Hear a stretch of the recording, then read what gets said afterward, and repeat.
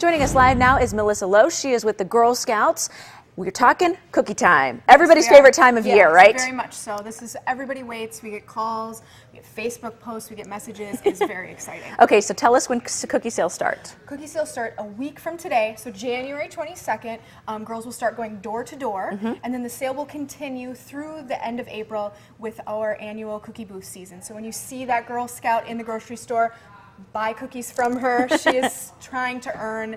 Um, money to go towards community service projects, Yes. camp, all kinds of awesome That's stuff. what I was going to ask. You know, where does this money go to? Well, the money, all the money after paying the baker, of course, Mm-hmm. comes right back here to northeast Wisconsin, northern Wisconsin, and the upper peninsula of Michigan.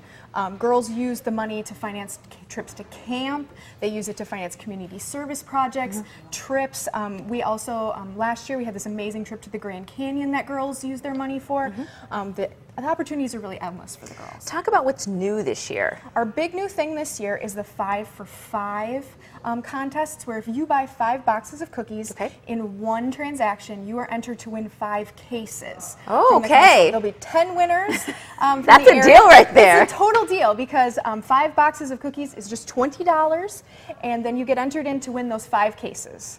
Delicious, Yes. delicious. Okay, talk about, I mean, you know, what's, I would say, you know, one of the top sellers, number one seller. What's your most popular cookie? Oh, number one, hands down, is the Thin Mint. Mm-hmm. Um, the Thin Mint is actually dukes it out every year for the number one cookie in America, that and the Oreo.